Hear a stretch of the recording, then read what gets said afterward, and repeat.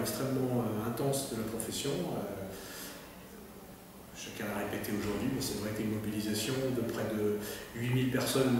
de la profession vétérinaire dans la rue à Paris, ça n'était jamais arrivé. Ça témoigne effectivement du fait que le sentiment unitaire et de, l'offense qui avait été faite à la profession et que,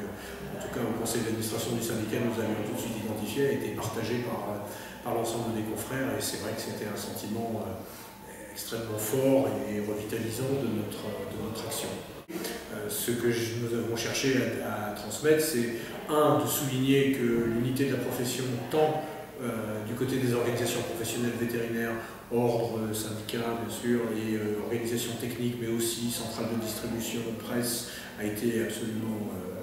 sans faille, qu'il n'a jamais, jamais été d'aucune difficulté que le résultat était là, puisque l'alinéa 7 a été retiré, ça nous a été annoncé par les deux ministres euh, il y a 48 heures et ça a été confirmé par le conseiller euh, lors de la réception de la délégation qui a eu lieu tout à l'heure, et qu'ensuite il faudrait rester dans la plus grande vigilance, parce que ce texte il va avoir une vie parlementaire, il va avoir une vie euh, à l'Assemblée, au Sénat, et que les gens qui, et l'opinion qui avait amené à cette insertion dans le, le texte, malheureusement, seront tenterait certainement à nouveau par d'autres moyens, euh, euh, que ce soit des amendements, que ce soit dans l'écriture du décret, de revenir à des, dispositions qui ne soient pas euh, justes pour, notre profession. Et puis enfin,